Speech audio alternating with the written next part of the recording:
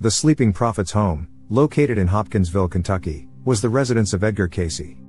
He was a renowned psychic famous for his accurate predictions. Named the Sleeping Prophet due to his practice of entering a trance like state to offer insights, Cayce made predictions on various topics. His predictions included future technological advancements, global shifts, and geopolitical changes. His home served as a center of spiritual healing, attracting seekers from around the world.